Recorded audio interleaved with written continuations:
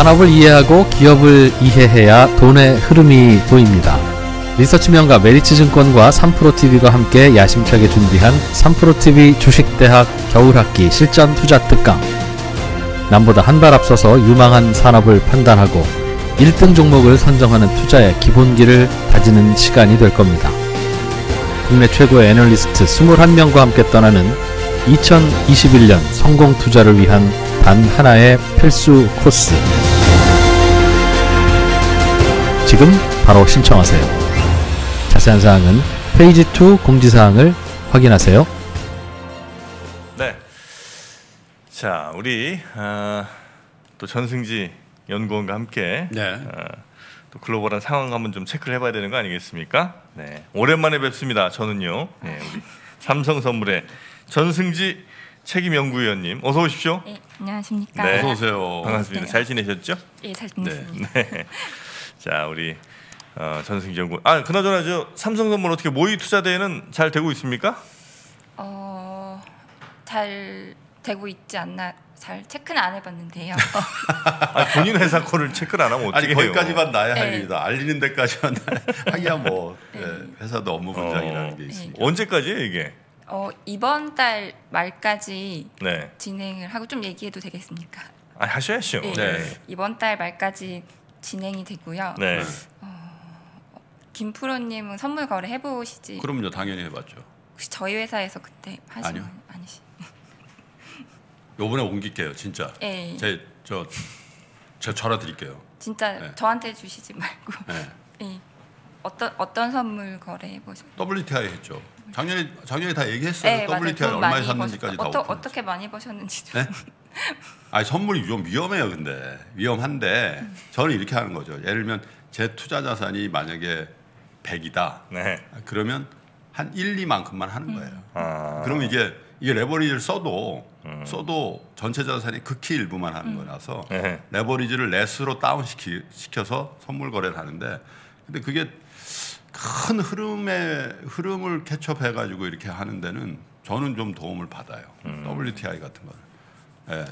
사실 굉장히 저점에서 한 번씩 예. 근데 매년 그- 매일 하는 그 건 아니고 하셨- 매일 trading은 네. 아니고 음. 야 이럴 때는 이건 용서할 수 없지 그러고 그럴 때 한 번씩 예, 선물을 빠지거나 올랐을 때. 그렇죠. 예. 네.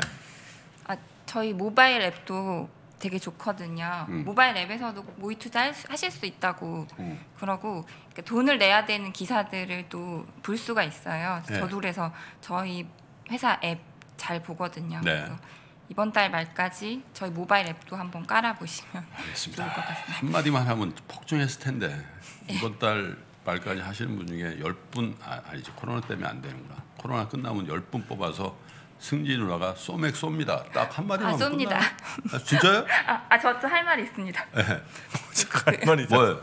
아 저 기억을 절대 못 하시겠지만은 네. 그때 블루웨이브가 되면 저 무슨 술을 주신다고 네. 그러셨었거든요. 술? 예. 그때 무슨 내기를 했. 아 그래요? 했나? 예. 그래서 무슨 중국 술 비싼 아, 거. 양아대고. 아, 아, 양아대고. 네. 네. 오케이. 있습니다 저희. 예. 예. 유사장 호성아 아니, 저희 몇 병만 있어요. 줘라. 저 냉장고 있어요. 냉장고 있어요? 있어요. 오, 아니 오케이. 그 예. 비싼 건가요? 내 아, 친구가 그럼요. 그거 그 중국 뭐 8대 수입하는 명주입니다. 팔대 명주인데. 중국 술 네. 좋아합니다. 예, 아주 친한 친구가 그거 수입하는 사장이에요. 자 그러면 우리 전승지 연구원님 이제 술 얘기를 그때 여기서 이제. 예, 네. 마무리하고요. 예, 예. 자 그럼 이제 어, 역시 뭐 일간 주간 뭐 시장 동향부터 이제 쭉 한번 살펴봐야죠. 예, 일단 그러니까 보통 새 시장은 연초이기 때문에 좀 낙관적인 전망을 반영을 하거나 또는 그해 그 전망의 consensus를 어, 중심으로 일단 플레이하는 경향이 있습니다. 음. 뭐 올해도 크게 다르지는 않아 보이고요. 네. 어쨌든 blue blue wave라는 그 굉장히 굵직한 이벤트를 소화했지만 어쨌든 네. 시장은 위험 선호 구도를 유지를 했습니다. 보시다시피 채권 금리는 상승을 했지만 어, 주간 기준으로 주가도 상승했고 네. 달러도 약했고 어, 원자재 가격도 상승의 흐름이 나타났습니다.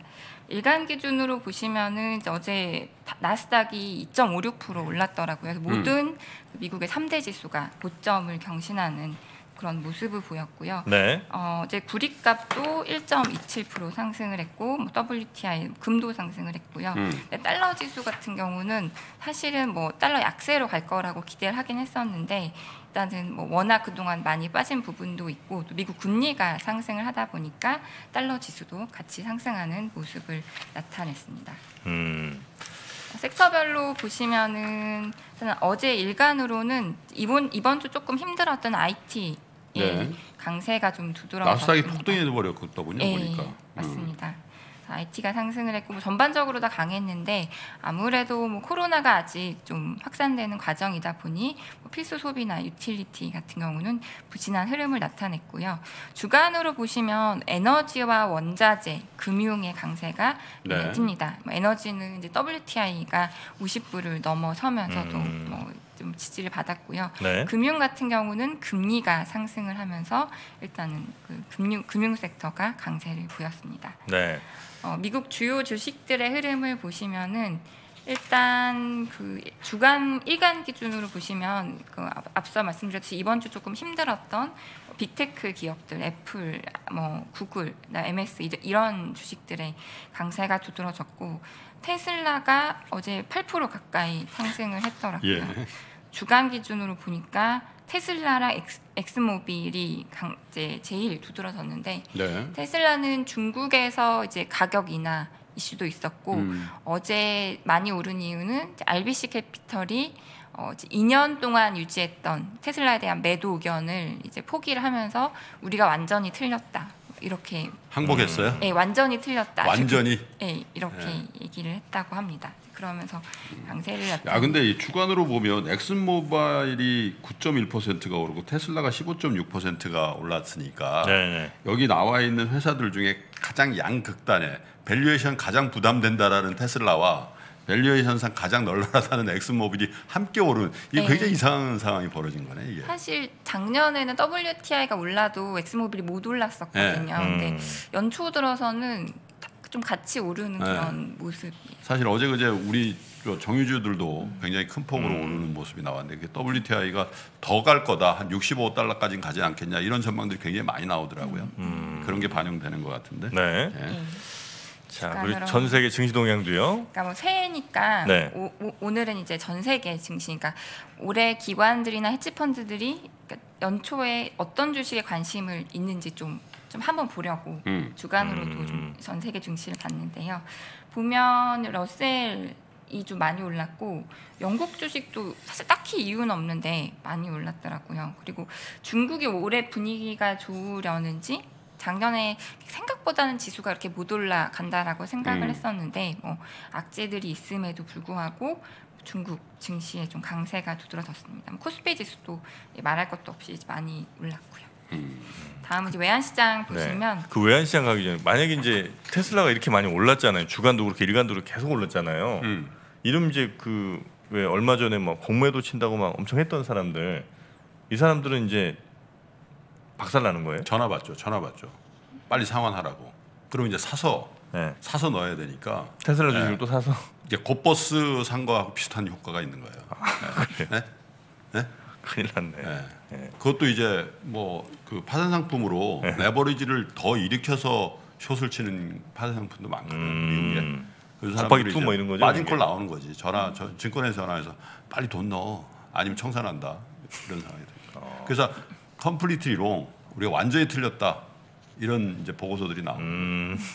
알겠습니다. 자 그리고요 예. 외환시장 동향을 이제 살펴보는 거죠. 예, 네. 일단은 달러는 전반적으로 약했고요. 주로 마이크에 대고 말씀해 주시면 예. 참 감사하겠습니다. 아, 죄송합니다. 네. 안 소리가 안 들리. 달러가 전반적으로 네. 약했고요. 이번 주 보면 호주 달러랑 유로 강세가 두드러졌고 네. 어, 사실 이제 원화가 이번 주 좀 약했어요. 네. 첫날 막 80원 대까지 찍다가 이후에 막 다시 반등을 하더라고요. 네. 오늘은 90원대 위로 올라갈 것 같긴 한데 그러니까 주가는 막 사상 최고치 경신하는데 외국인이 별로 주식을 또 안 사주고 네. 또 밑에서는 뭐 새해니까 해외 투자 뭐 집행하는 것들 이런 수요가 발생을 하면서 음. 원하는 작년만큼은 일단은 막 강세 흐름이 가파르게 진행되고 있지는 않습니다. 예, 이제 그런 상황이고요. 원자재 시장 동향을 보시면 일단 WTI가 뭐 말씀드렸듯이 50불 위로 올라가는 그런 네. 강세를 보였는데요. 일단은 그 오펙 플러스 회의가 있었는데 네. 일단은 그 2, 3월에 감, 그러니까 좀 증산을 하기로 결정을 했습니다. 아주 조금이지만 예. 사우디가 통 크게 우리가 그냥 감산할게 이렇게 얘기를 하면서 유가가 50불 위로 올라섰고요. 그다음에 구리 뭐 구리값 이런 것들은 이제 정고점을 경신하는 그런 모습들을 나타냈고 금값은 이제 금리가 상승을 하다 보니까 조금 음. 상승이 억제되는 모습을 보였습니다. 그리고 뭐 금 얘기가 나와서 비트코인 같은 경우에 연초 들어서 33% 올랐더라고요. 연초라는 게 이제 며칠 된 거죠. 예, 맞습니다. 제대로 뽀모 연초. 심리를 아 올해 연초요? 네, 연초 예. 아 YTD 예. 며칠 됐어. 예. 아마 기관들도 뭐 이게 정당한지는 모르겠지만 10만, 뭐 15만 이렇게까지 전망들을 내놓고 있기는 비트코인 하더라고요. 10만 달러. 예, 1억이요? 1억, 1억인가요? 그러네 1억 한 천 뭐 이렇게 음. 되겠네요. 그래서 예. 막 주위에서도 아 그냥 약간 불안하게 나 조금만이라도 갖고 있을까? 막 그런 생각들 하시는 분들도 많이 있는 것 음. 아 같고. 어제 내가 그 점심 때 70대 어떤 사업하시는 사장님하고 점심을 먹는데 네. 출판업 하시는 아 코인은요 타일에서 나- 어 내가 너무 쫄려가지고 코인은요 아, 딱, 코인. 아, 딱 갖고 계시다는 걸 아. 딱 말씀하시는데 어 그 포스가 70대 어르신께서 네. 코인은요 딱 하니까 하여튼 그랬습니다. 아. 비트코인은 뭐 비트코인 비롯한 뭐 여러 이런 이런 것들은 아직은 뭐 저 주요 거래소 같은 데서 예를 들면 무슨 선물 거래소 이런 데선 거래 아직 안 하는 거죠? 예, 예, 네. 맞습니다. 음. 자 그러면 어, 그래서 이제 시장 정리를 해봤고요. 네 어, 일단 이제 뭐 이번 주 가장 핵심은 blue wave일 테니까 저도 좀 그 얘기를 해보도록 하겠습니다. 많은 분들이 나와서 얘기를 해주셨을 것 같아서 저는 이제 외환 시장 관점에서 말씀을 이제 드리려고 하고요. 어, 기본적으로 뭐 당연히 블루웨이브는 이제 바이든 행정부의 실행력을 강화시켜주는 환경을 만들어 준다라고 할 수가 있고 음. 공약들을 보면 이제 바이든 행정부가 원하는 그런 것들은 첫 번째로는 정부 주도의 경기 부양. 네. 두 번째는 격차와 불균형의 축소. 그게 뭐 개인들 간의 소득 불균형일 수도 있고 실물과 금융 간의 괴리일 수도 있고요. 셋째는 미국의 위상과 건전성의 강화 라는 그런 공약들을 통해서 그런 대응들을 생각을 해봤습니다. 음. 어, 외환시장 측면에서는 세 가지로 이제 한번 생각을 해봤는데요. 첫 번째는 금리 측면, 두 번째로는 위험 선호도 측면, 세 번째는 미국의 건전성 측면에서 생각을 해봤습니다. 네뭐 결론적으로 말씀드리면 단기적으로 여기 단기적이라는 거는 어, 어, 누구한테는 하루일 수도 있고 뭐 누구한테는 일 1년일 수도 있는데 저는 한뭐 6개월 뭐 그 정도 단기적으로는 약달러 우호적이지만 이 약달러로 간다라기보다는 우호적이다라고 생각이 되고 중장기적으로는 달러와의 지지 요인이 될 수 있을 것 같다라고 생각을 하고 있습니다. 약달러의 우호적이라는 건 뭐예요? 사실 그러니까 외환 시장을 움직이는 게 네. 변수가 엄청 많거든요. 뭐 네. 정치 이슈가 갑자기 튀어나올 수도 있고 실물 경기일 수도 있고 뭐 여- 통화 정책일 수도 있고. 근데 그렇기 때문에 이제 이거 하나로 막 달러가 그렇게 간다라기보다는 네 이제 그럴 만한 환경 변수를 하나 추가시킨다. 뭐그 음. 정도로 음. 보시면 될 것 같습니다. 약달러의 우호적이다. 예, 네. 너무 비겁한 표현입니다. 그러니까 이게 저는 이제 약달러로 간다와 약달러의 우호적이라는 거의 차이가 그 정도의 차이, 그러니까 약달러로 갈 가능성의 정도의 차이인 건지 아니면 어떤 어떤 이슈들에 더 반응을 할 거라는 얘기인 건지 약간 음. 이거 좀 다른 것 같긴 하더라고요. 근데 두 개 중에는 후자 쪽인 거예요. 그러면 약달러의 우호적이라는 게 어, 이런 이런 이슈가 터졌을 때 더 약달러로 갈 가능성, 약- 더 약달러로 갈 거라는 얘기인 건지 자숙처럼 더 끌어당긴다는 건지 아니면 약달러로 갈 가능성 전체가 어, 조금 높아졌다는 걸 좀 연하게 표현한 건지 어, 일단 그게 기- 그 사람의 기본적인 뷰랑 연관이 있을 건데 저는 이제 일단 상반기까지는 달러 약세 간다라고 음, 네. 생각을 하고 있기 때문에 뭐 음. 첫 번째 쪽이 조금 더- 환경을 점검할 때 흔히 쓰는 용어죠. 우호적이라는 거는 그 네. 다음 용어가 환경이에요. 예, 약달러로 가는 우호적인 환경이 있는 것 같다. 이렇게 음. 표현할 때 대체로 그 우호적이라는 예, 예. 표현을 쓴다. 네. 예. 어, 그래서 첫 번째 이제 금리 측면에서는 뭐 지금 기대 물가가 계속 올라가고 있거든요. 네. 기대 물가가 올라가면 실질 금리가 낮아지기 때문에 음. 이제 금리 측면에서 그단 중단기적으로는 이제 실질 금리를 낮추면서 달러 약세로 네. 적일 것 같거든요. 음. 근데 결국은 중장기적으로 미국의 완화적인 통화 정책이 아주 늘어지지는 않을 것 같다. 사실은 그러니까 뭐 정부 주도로 뭔가를 안 하면 미국이 마이너스 금리를 했을 수도 있다라고 생각이 되거든요. 네. 그럴 가능성을 일단은 차단했다라고 생각이 되고 네. 금리 네. 인상 사이클을 조금 당겨올 수 있다. 거기에 초점을 네. 맞출 수 있을 것 같습니다. 네. 특히 정부 주도의 경기 부양은 그 물가 상승 압력, 그러니까 경기를 더 빠르게 뜨겁게 하고 물가 상승 압력을 상당히 키울 수가 있거든요. 그래서 생각보다 경기가 빨리 올라오면 일단은 금리도 빨리 올릴 수 그런 거죠. 이 통화 정책을 쓰면은 돈을 빌려주는 거니까 그걸 이제 금융회사나 이런 데서 맡겨놓고 그냥 돈을 안 쓸 수도 있는데 에, 수표 책 그러니까 뭐 천 달러씩 육백 달러씩 찍어 꽂아주면 이거는 대체로 무조건 소비로 갈 가능성이 많은데 예. 그나마 지금 그게 안 쓰여져 있는 거는 경제 활동을 못 하니까 그걸 이제 주식이나 사고 뭐 이렇게 예, 하고 맞습니다. 있는데 네. 만약에 백신이 5월 뭐 6월 돼서 일반화되면 들고 나서 쓰고 음. 이동하면서 그러면서 이제 사실은 이제 예. 인플레이션 걱정이 있고 뭐 그런 얘기잖아요. 예, 그죠? 또 정부가 사실 돈에 꼬리표가 생기거든요. 정부가 그렇죠. 어, 친환경에 써, 뭐 음. 어디에 써 이렇게 음. 다 정, 정해주기 때문에 거니까. 음. 네. 빨리 또 그 산업이 뜨거워질 수가 있고. 쓰라고 예. 하는 쓰라고 무조건 쓰는 걸 강제해서 주는 거니까 그죠? 예, 네. 예, 이제 그럴 가능성이 높다라고 보시면 네. 외환 시장하고는. 어떤 관련이 있나요? blue wave가. 어 그래서 이제 그러니까 금리 측면에서는 음. 단기적으로 기대 물가가 올라가고 실질 금리를 낮추니까 예. 달러 약세 압력을 줄 건데 음. 두 번째로는 그 국채, 미국 10년 국채 금리를 보시면 지금 1%를 넘어섰어요. 음. 이게 그 60주 이평선을 약간 딛고 안착하는 그런 모습인데 네.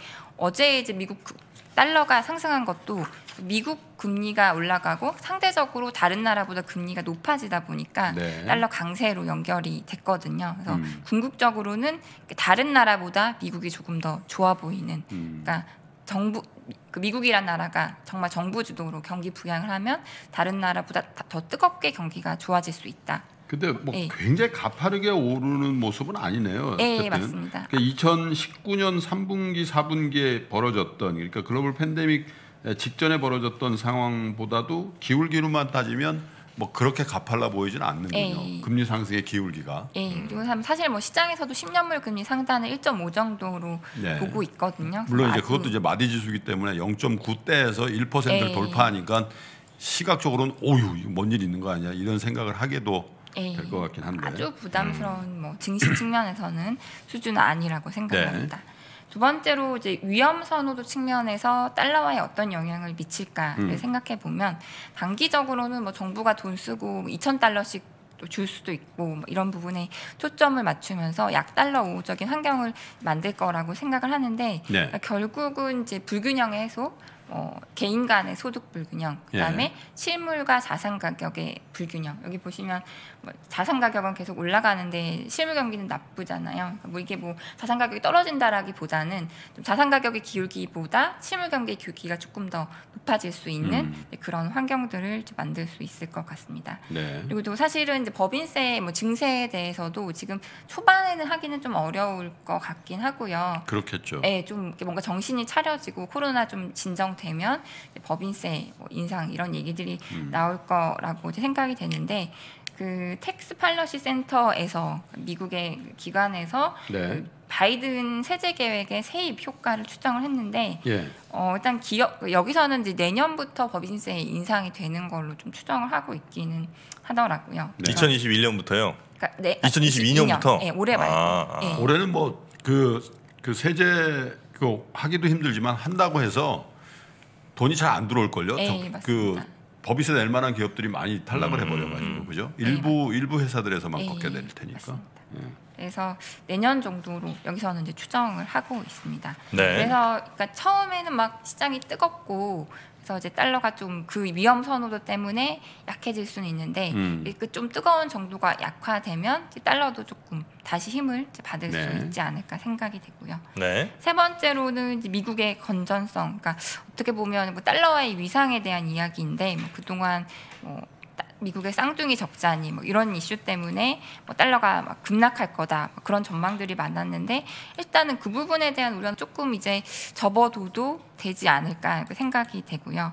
결국 그 증세가 어 미국 그 정부 주도의 경기 부양에도 불구하고 음. 재정 수지를 좀 다시 건전화 시킬 수 있다라고 생각이 되거든요. 네. 네. 이게 민주당 정부에서 건전동이 올라가네요. 예, 뭐 우연일 수는 있는데 네. 최근에 보면 민주당 그러니까 경기가 사실 우연하게도 이때 좀 미국 경기가 항상 좋았거든요. 아, 그런가요? 예. 어. 그래서 이제 뭐 반복된다라고 할 수는 없지만 네. 어쨌든 네. 이제 반, 다시 좀 올라오지 않을까. 근데 사실 돈을 많이 쓰는데요. 그죠? 민주당 정부는 그죠? 예, 근데 이제 보통 이제 보면 이제 경기가 막 뜨거워지면서 세입이 많이 음. 거- 거치면서 이제 수지가 좀 음. 좋아진 경향들이 있었습니다.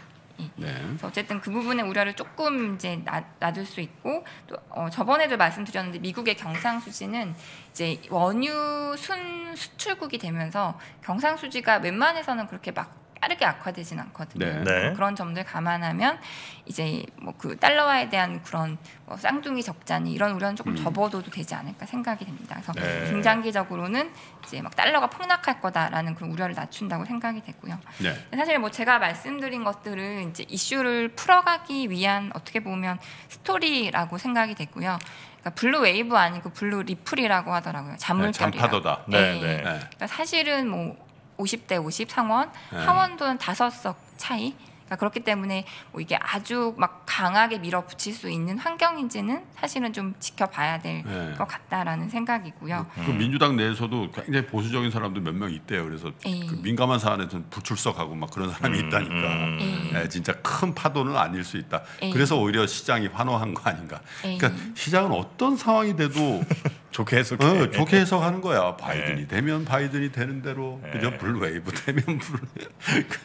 네. 그러니까 이 blue wave가 됐을 때그 달러가 어떻게 될 거냐는 이제 말씀해 주신 건데 예. 대체적으로 약간 약하게 하지만 푹 떨어질 가능성 은 별로 없는 상황이다. 요 정도로 예. 이해하면 되겠습니까? 예. 네. 그리고 사실은 개인적으로는 1분기는 달러가 조금 변동성이 있을 것 같고요. 저는 2분기가 가장 달러 약세 우호적인 환경일 거라고 생각을 2분기. 예, 하고 아, 있거든요. 아 1분기보다 2분기예요. 예, 일단은 이제 북반구 날씨 좀 따뜻해지면서 사람들 이 나갈 수 있고 아. 그다음에 이제 백신도 거의 이제 초여름 정도를 이제 뭐 선진국 뭐 미국이나 영국 이런 데 집단 면역 시점으로 네. 보더라고요. 그래서 그렇기도 하고 또 이제 막 작년 3, 4월에 원자재 가격이 워낙 폭락을 했기 때문에 음. 이제 막 전년 대비로 하면 물가가 막 올라올 거거든요. 음. 근데 이제 연준이 아 이거 이래도 괜찮아, 이래도 괜찮아라는 얘기를 계속 해줄 거고, 네. 그럼 이제 시장이 날씨도 좋고 뭐 음. 경기도 사실 1분기는 별로 안 좋을 가능성이 지금 그렇죠. 높은데 네. 2분기가 좀 가장 환호하고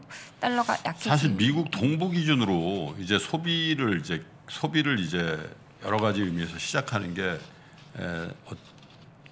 부활절 부활절 휴가 부활절 언제쯤이에요, 대충? 4월 초, 4월 초인가요? 4월 초? 예. 네. 그래서 에, 그 Friday 그 그 어감부터 이제 겨울 옷을 벗죠. 음. 까만 이 겨울 외투들 막 그 파카 이런 거 벗고 네. 이제 에, 좀 밝은 옷도 사고 밖에 돌아다니고 음. 왜냐면 추우니까. 그래서 돈도 그래서 좀 이제 쓰고. 부활절 그 시즌이 사실 한 해 어떻게 보면 에, 우리로 치면 3월 아뭐 뭐 이런 이런 느낌이 있잖아요. 네, 네, 네. 그 느낌이 이제 부활절 아. 때부터 시작이 되는데 그 무렵부터 이제 에이. 어찌 보면 에이. 굉장히 심각한 에, 편차를 보일 가능성이 있다. 이런 예, 거. 그러니까 좀더 달러 약세 우호적이고 좀 금융 시장도 1분기보다는 2분기가 좀 더 뜨겁지 않을까. 근데 워낙 시장이 요새 돈이 많은 시장을 너무 스마트해서 네. 다 땡겨서 반영하긴 하지만 네. 2분기가 가장 분위기가 좋지 않을까 생각을 좀 하고 있습니다. 네. 음. 마지막으로 이제 위안화 이야기를 아, 좀 해보려고 우리 시장이 하는데 진짜 영향을 많이 주죠 위안화도. 예, 그렇죠. 사실 연초 중국 시장은 분위기가 뭐 괜찮은 것 같고요. 네. 주가도 좋고 위안화도 강세를 보이고 있고 특히 5일 같은 경우는 이제 중국 인민은행이 한 10시 20분쯤 되면은 고시 환율을 발표를 해요. 네. 그래서 그 환율 중심으로 하루 플러스 마이너스 2% 내외에서 움직이는데 1월 5일에 발표한 고시 환율이 어, 전일 대비 1% 정도 절상이 되면서 2005년 7월 위안화 개혁 이후 최대 폭의 음. 절상을 기록을 하기도 했습니다. 네. 근데 이제 어, 다만 이제 중국이 좀 외환 관련한 정책들을 작년 말부터 조금씩 변화를 주고 있기는 하거든요. 예. 일단은 첫 번째로는 이제 그 위안화 바스켓 지수를 좀 변경을 했습니다. 달러 비중을 조금 낮췄는데 사실 이건 매년 좀 그 점검을 해서 변화를 시키는 네. 거긴 하거든요. 그래서 예. 달러 비중을 낮췄고 두 번째로는 이제 올해 들어서 이제 위안화 국제화의 일환인 것 같은데 여기에서 위안화를 좀 결제하기 편하게 좀 바꿨고요. 음. 세 번째 네 번째가 좀 중국이 일단은 좀 가파른 위안화 강세가 싫은가 하는 그런 생각이 드는 부분인데 네. 일단은 그 중국의 해외 법인들이 본국 중국에서 좀 돈을 많이 빌려갈 수 있게 좀 그 규제를 완화했거든요. 그러면 예. 어, 달러 수요가 발생을 하고 위안화 강세를 억제할 수 있기 때문에 이런 음. 정책이 나왔고 특히 6일 같은 경우는 중국 국가 외환 관리국이 시장의 무질서한 변동을 이제 뭐 가만두지 않겠다 이렇게 발언을 했거든요. 이 부분은 시장이 이제 어, 위안화 강세 싫은가 이렇게 좀 생각을 해볼 수 있는 음, 건데 너무 너무 강한 거. 예, 근데 사실은 뭐 생각해 보면은 이게 뭐 절대 기조적으로 위안화 강세가 싫다기보다는 연초에는 항상 투기 세력들이 많이 네. 있거든요. 그래서 이 세력들의 플레이가 조금 음. 싫다 정도의 의미라고 저는 생각이 되고요. 다만 이제 최근에 중국 제조업 지표가 조금 꺾이는 모습들을 보이고 있긴 해요. 그래서 작년에 중국이 여름부터 막 지표가 계속 계속 너무 좋았거든요. 근데 일단은 그런 것들 반영하면 이제 음. 위안화도 사실 많이 워낙 많이 강세로 가기도 했고 네. 그래서 강세 기조이긴 하되 좀 속도 조절하고 와, 근데 이 변동성이 차트 있어요. 보니까 예.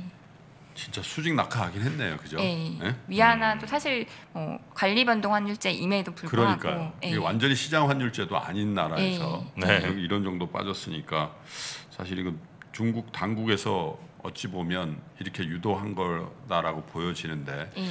이 정도면 됐나 이런 생각을 할 때쯤 된 것 같네요. 예, 보통 한 6.3 위안, 지금이 6.4 위안대에서 등락하고 있는데 음. 이제 많은 기관들이 한 6.3, 6.2 정도를 올해 환율의 하단으로 전망을 많이 음. 했습니다. 네. 근데 이제 위안화가 예를 들어 여기서 이제 다시 아, 위로 올라가는 상황이 되면 그러니까 다시 말하면 이제 위안화의 가치가 떨어지게 만드는 상황이 되면 이제 달러도 어느 정도 약간 하락이 우호적이라면서요. 근데 위안화도 이렇게 약간 하락으로 가면 나머지들이 힘들어집니까? 어, 그렇게 되나요? 어, 그 사실 어느 나라와 경합을 하고 있는지, 네. 수출을 경합을 하고 있는지, 또는 어느 나라에서 수입을 많이 하고 있는지에 좀 다- 따라 다를 건데 네. 우리나라 입장에서는 위안화 강세에 가면 이제 사실은 좋아하는데 위안 원화환율하고 위안화환율하고 또 네, 네, 방향성을 네, 네. 같이 하다 보니까 요새는 뭐 크게 막 신경은 안 쓰는 아 거. 그렇습니까? 음. 오- 오히려 기간 중에 위안화가 더 강했죠. 예, 맞습니다. 원화보다. 예, 예. 그러니까 사실 중국하고 경합하고 있는 어떤 제품에 관해서는 약달러 기조에서도 우리나라가 나쁘지 않았다라는 음. 얘기일 수도 있고요. 예. 음, 위안화가 강세면 사실 에, 중국의 어떤 그 구매력이 더 강해지죠. 예, 예. 맞습니다. 에, 아, 우리나라 우리가부터 수출할 게 많다면? 우리나라, 우리나라보다 수입 많이 해가니까 음, 음. 그런 측면에서 보면 에, 위안화 강세는 우리 주식 시장에도 나쁘질 않고 음. 그죠? 사실 뭐 전반적인 위험 선호도를 또 반영한다라고 할 그렇죠. 수도 있고. 예, 예. 글로벌 전체 자금 flow가 예, 예. 네. 에, 극히 안전자산인 달러에서 대표적인 신흥국 자산인 에, 이 위안화 자산 쪽으로 옮겨간다는 건 그 옆에 훨씬 더 신흥국에서 탈피된 선진국스러운 신흥국인 한국이 조명받을 가능성이 음. 많고 그게 이제 작년 하반기에 예. 에, 극적인 외국인 매수의 전환으로 나타난 거 아니에요? 그러니까 이제 강세는 올 만큼 온 거 아니에요? 위안화? 그거 이제 모르지. 아, 더 갈. 예. 왜 위안화 한번 아니 이제 많이 떨어진 거야. 아니, 국버스 많이 위안화 한번 해보려고? 많이 좀 간 것 같아서 이제 좀 혹시 약간 정부가 중국 정부가 좀 개입하지 않나. 예. 근데 그게 또 막 IMF 눈치도 봐야 되고 미국 음. 눈치도 봐야 되고 해서 약간 조심스러운 측면이 있어요. 아이고 그나저나 참 그 저 중국 주식으로 중국 주식으로 큰 수익 나신 분들은 훨씬 좋겠어요. 위안화로도 또 예, 물론 이제 원화 대비하면 그 수익률이 그다지 큰 건 아니지만 사실 서학개미 분들은 테슬라 같은 걸 제외하면은 음, 기간 중에 작년 하반기부터 달러가 워낙 약해져 네, 버려 가지고 맞습니다. 예, 돈돈 친 분들은 상당히 많이 네네네네. 그죠? 예, 환전 수수료도 들고 네. 이 환율이 그렇게 중요하네요. 자, 이 삼성 선물 우리 아, 승지 모의 함- 투자 많이 해주십시오. 모바일 앱 좋습니다. 여러분 우리 전승지 소맥 누님께서 이 정도 얘기할 때는 네. 뭔가 필요하다는 얘기입니다. 네. 제- 죄송합니다. 저희 승지. 삼성 삼성 선물 앱도 많이 까시고 거기에 댓글 좀 많이 나서 사실 승지 소맥 소, 소맥 누님 때문에 왔습니다. 뭐 언니 때문에 왔습니다. 응원도 좀 해주시고요. 네. 식구잖아요. 삼성 선물 모바일 앱 까셔갖고 거기 뭐 추천인 이런 거 넣는 거 있어요? 전승지 이렇게 넣는 게 있습니까? 그거까지 체크를 안 해봐. 아니 좀 체크 좀 하고 오자 맨날 뭐 근데. 갑자기 들면 네. 삼성 선물의 경영진에서도 이건 뭐 전승지 때문이지 하지. 아, 부탁드립니다. 다른 변화가 뭐가 있겠어. 네. 그렇잖아요. 갑자기. 거기 뭐 리테일이 네. 있는 데도 아닌데 지점이 있는 것도 아니잖아. 네 맞습니다. 이거밖에 없다니까. 선물 모의 모이니까 뭐 크게 예, 저 부담 없이. 연습 한번 해보신다는 생각이. 네. 저도 그럼 쏜다 그랬습니다. 네. 코로나 없어지면 열 어, 분 예. 뽑아서 소맥 오늘 쏜다고 술 주시면 그랬어요. 그거 같이. 네. 알겠습니다.